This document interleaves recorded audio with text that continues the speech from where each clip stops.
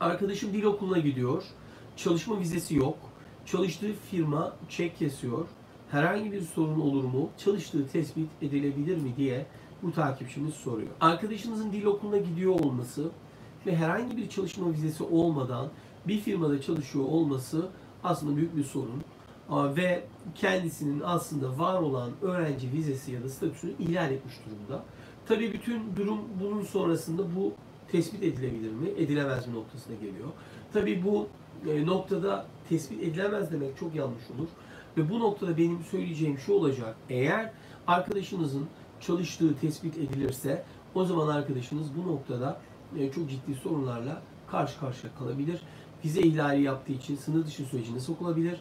Dolayısıyla bizim bu noktada tavsiyemiz şu olur. Eğer bir iş yeri gerçekten bu işe sponsor olmak istiyorsa bu iş yeri üzerinden çalışma yapılıp yapılmayacağına bakılmasında fayda var ve bununla beraber sizin arkadaşınızın en azından e, çalışma izni alıp ya da yeşil kart hakkını elde edip onun üzerinden bu izni alıp bu izin üzerinden gitmesinde fayda olacaktır. Yoksa çok tehlikeli ve çok riskli bir durumla karşı karşıya olduğunu arkadaşınıza sizin aracılığınızla iletmiş olalım.